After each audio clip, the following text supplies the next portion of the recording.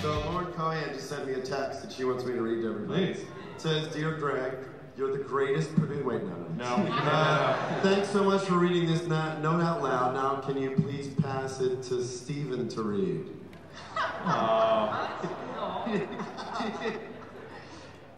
Oh, for real? She's very, very funny, by the way.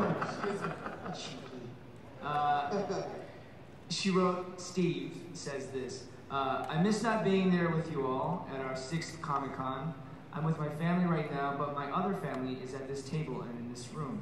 We may have already said this today, but everyone in here is who makes this show and inspires us to new Walker Kill, emotional roller coaster, fighting for life, and love heights every season. And we thank you and love you so much. I hope you all have a freaking incredible weekend. Can you say something funny at the end?